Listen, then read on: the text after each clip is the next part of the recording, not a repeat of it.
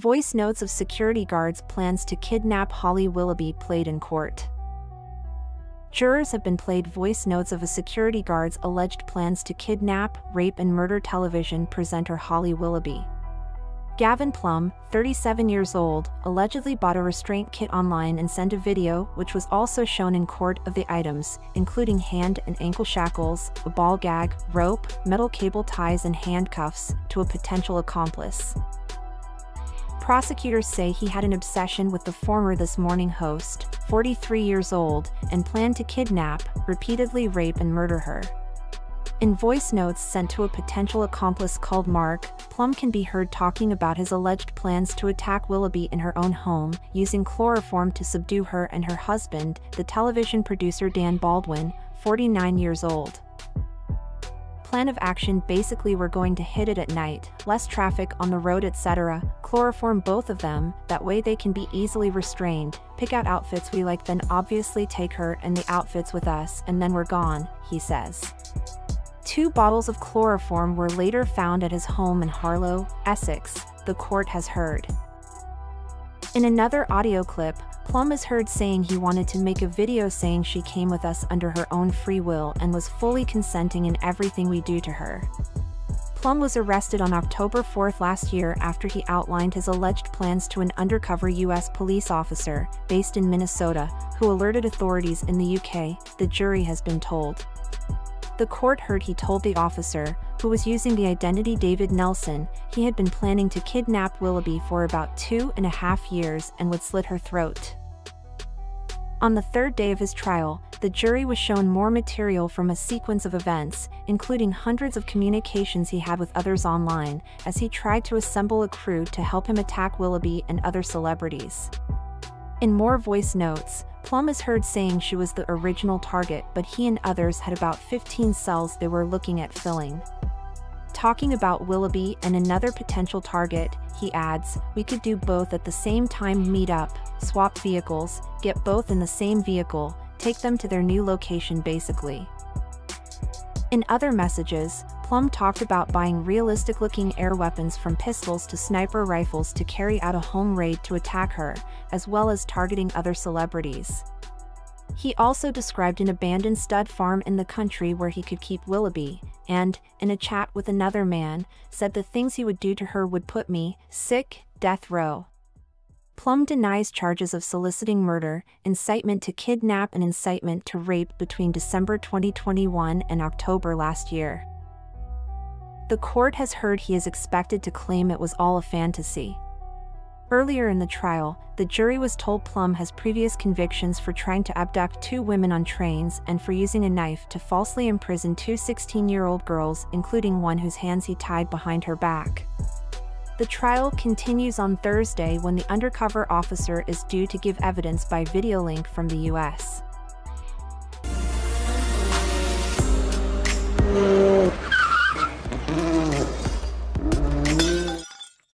Two gowns worn by Princess Diana expected to fetch huge sums at auction.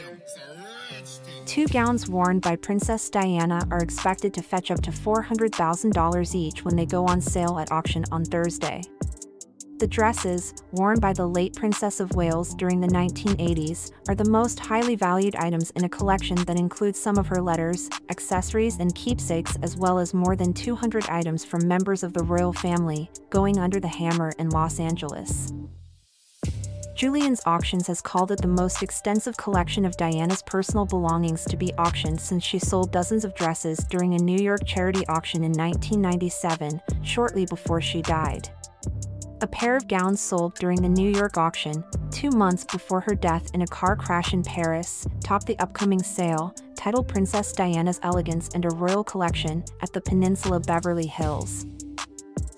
Designer Murray Arbeid made the first, a midnight blue tulle strapless gown that Diana wore twice in 1986 to the Phantom of the Opera premiere, to dinner with King Constantine of Greece, and to a Royal Opera House performance of Cinderella the following year.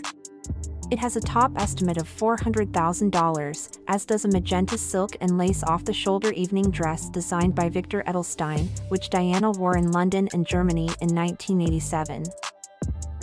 Martin Nolan, co-founder and executive director of Julien's Auctions, said, People will know that name because Victor Edelstein also designed the very famous navy blue dress Diana wore when she danced with John Travolta at the White House in 1985. Diana, he said, was a princess of economics, wearing gowns numerous times not only for environmental reasons but also to use her celebrity status to shine a spotlight on up-and-coming or new or unknown designers, including Edelstein, Caroline Charles, and Catherine Walker all of whom feature in the auction. One of Walker's creations, a pink floral silk shirt dress Diana wore to a 1988 sports day for Prince William and when Prince Harry left school in 1992, has a top estimate of $200,000. In December a Jacques Azagury designed dress worn by Diana in Italy in 1985 became the most expensive dress worn by the royal at auction, selling for more than $1 million. More than 20 of Diana's handwritten letters, notes, and holiday cards are also up for grabs in this week's sale. The keepsakes show the kindness and concern that Diana had and also tells us she was truly happily married, Mr. Nolan said. Many of the letters are to Maud Pendrey, a former housekeeper at the Spencer family home at the Althorp estate in Northamptonshire, where Diana grew up.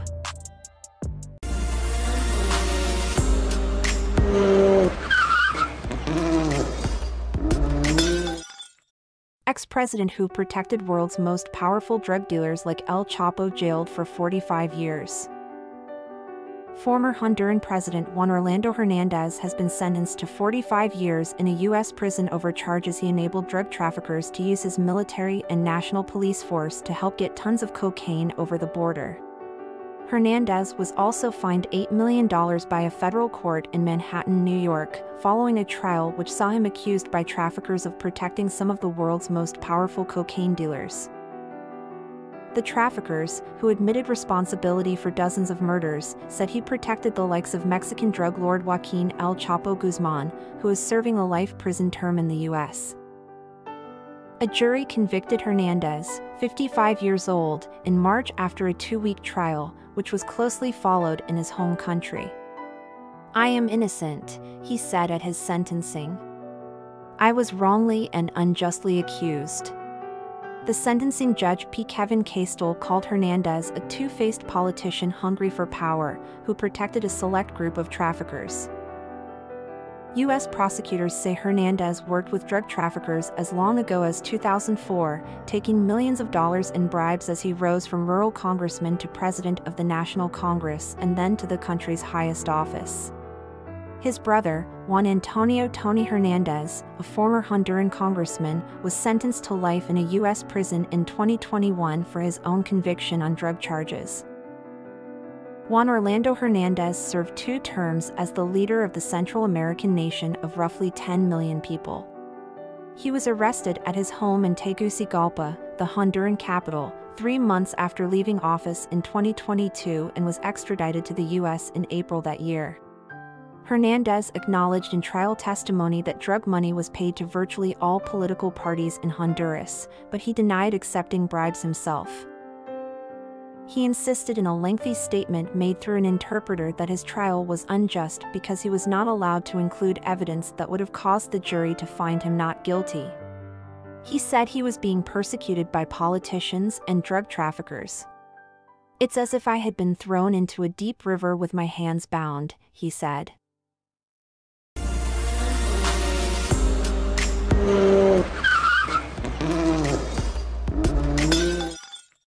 Elvis Presley's blue suede shoes expected to fetch up to $151,000 at auction. A pair of Elvis Presley's blue suede shoes are to go up for auction. The American singer wore the size 10.5 footwear on and off stage in the 1950s, including during a performance on the Steve Allen TV show. He acquired the pair after recording the hit Blue Suede Shoes, which was written by fellow singer Carl Perkins, for his debut album in 1956. Presley later gave the shoes away the night before his induction into the U.S. Army in 1958. The footwear is tipped to fetch between $126,000 and $151,000 when it goes under the hammer on Friday at auctioneers Henry Aldridge and Son in Wiltshire. The pair has been authenticated by Jimmy Velvet, Presley's close friend of 22 years, who has been described by the auction house as the world's leading Elvis authority. Presley gave the shoes to his close friend Alan Fortas, who later described how he got them in a letter. He wrote, The night before Elvis's Army induction in Memphis, Elvis had an all-night party at Graceland. Afterwards we went to the Rainbow Roller Rink, when we all got home Elvis called some of us upstairs and was giving away some of his clothes he didn't think he would be wearing or wanted when he came back from the army. That night Elvis gave me these blue suede shoes size 10.5. I've owned these all these years. Auctioneer Andrew Aldridge described the shoes as iconic as they can be. He added, they are just an exceptional piece of show business, music and popular culture memorabilia.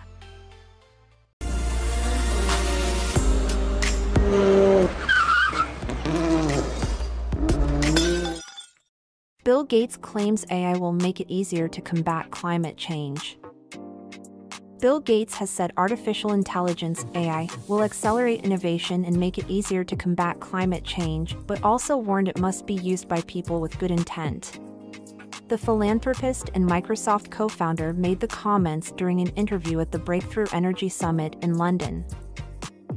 Gates told the world with Yalda Hakim that AI had so far played a fairly modest role in helping to combat climate change, but was going to make innovation far easier to do. He said, AI helps us model things in the sciences, understand materials better, and catalysts, and how to make proteins. AI, in every field of endeavor, will be accelerating innovation, whether that's in medicine or helping with tutoring, education. With climate change, some of the complex things like modeling fusion energy, thank goodness AI is going to make that far easier to do. When asked if he was worried about suggestions that such technologies could be used to overthrow governments, Gates said he had not heard that particular scenario. He added that anytime you have a new technology, it is mostly used by teachers, doctors, and scientists to help them be more effective, but said AI could be used by people engaged in cyber attacks or political interference. So you have to make sure the good guys are staying ahead and detecting and preventing that type of usage. Gates went on to say there was nothing gigantic about AI, adding, misinformation is there, but that's nothing to do with AI. He said we have to anticipate that AI could be used in the making of fake videos, which he said should be marked as inauthentic. Because we know when something's printed on a piece of paper, anybody could have typed it, but we still think of videos as somehow authentic because it used to be hard to fake, he said, as he urged people to ask themselves, where did this come from? There will be laws creating penalties for fooling people, he added. However, he remained optimistic for the future, adding, The biggest thing is going to be advancing medical science, advancing education, and taking this climate issue and getting that innovation to move even faster. Pressed on whether AI could be used in cyber attacks on infrastructure such as hospitals, water, or electricity, Gates said, The defense has to be smarter than the offense. And both sides will use AI to up their game. Asked if he was worried about the future of AI, he said it was a wonderful technology when it's used to help with teaching and health. Gates added, it will bring changes that will challenge governments to think, how do we step up? And it's at a time where do people trust government to step in and do those things? How agile will governments be? So this dialogue where governments are starting to pay attention, that's very important.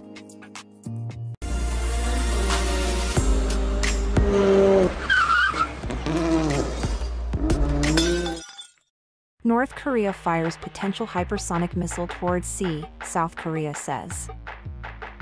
South Korea has said North Korea may have launched a hypersonic missile towards the northeast coast. South Korea's Joint Chief of Staff said the launch on Wednesday morning originated from Pyongyang and appeared to fail before landing in the sea. No damage has been reported. Earlier this week, North Korea criticized the deployment of U.S. aircraft carrier, the Theodore Roosevelt, to take part in joint military drills with the South and Japan. It warned of an overwhelming, new demonstration of deterrence as a result. South Korean President Yoon Suk Yeol boarded the U.S. aircraft carrier, the first sitting president to do so since 1994, and claimed the country's alliance is the world's greatest and can defeat any enemy. Hypersonic weapons are considered the next generation of arms that aim to rob adversaries of reaction time and traditional defeat mechanisms. North Korea has launched various missiles that it claims are hypersonic over the few years. In April, Kim Jong-un watched over a test of what the country said was a new hypersonic intermediate-range missile using solid fuel. The missile launch came hours after South Korea said the North floated flying balloons believed to be carrying rubbish across the border for a second day in a row. The balloons caused a three-hour delay at the country's Incheon International Airport after one landed on the tarmac near one of the passenger terminals. Runways have since reopened.